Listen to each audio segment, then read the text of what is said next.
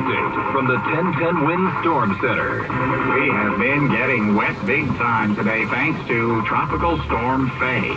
Let's get the latest now from AccuWeather and meteorologist Brian Thompson.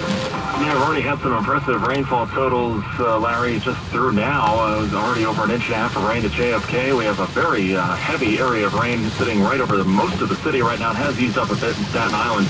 Uh, this will move through, but there is another band of heavy rain just ready to come on shore in Nassau County and uh, in Brooklyn as well, just kind of like the current one did. And again, everything moving from southeast to northwest. So some heavy rain over the next several hours. That's when we're going to see the kind of the worst of the rain. The wind is starting to pick up a little bit. Uh, we do have some wind gusts now, uh, 30 uh, miles per hour or so.